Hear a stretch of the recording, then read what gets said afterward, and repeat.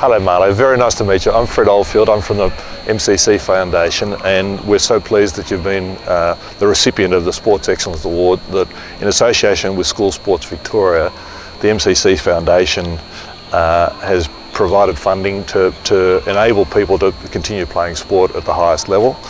Um, I understand you're going to the national championships and, and we're very pleased and, and it, it fits exactly within our criteria of of the development of sport in Victoria for, for athletes and so we're, we're very pleased that, that you. you. are the recipient and the netball championships coming up and, yeah. and you'll be playing for Victoria which is yeah. very exciting.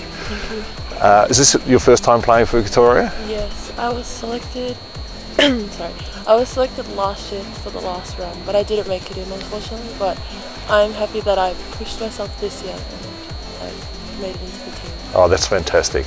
And so they'll pick a national side at the, at the yeah. end, and and you'll you'll be uh, one of the candidates as either a, a, a, a, in attack or defence. Where yeah. where do you think you'll be playing?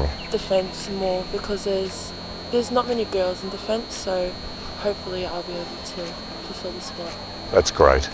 Well, congratulations again. As I said, you fit well within our criteria, and and we're so pleased that you're you're, you're, representing your state but also representing us at the foundation. So thank, thank you very much. I'd like to thank the MCC for supporting me through this fund. It's been, it's been a rough trying to, as I'm going into my sporting career, but I'm happy that I'm getting the support financially and I will make sure to be using it very quickly.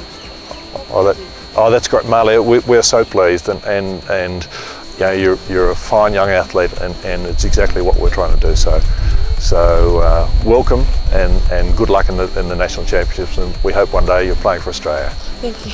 Thank you.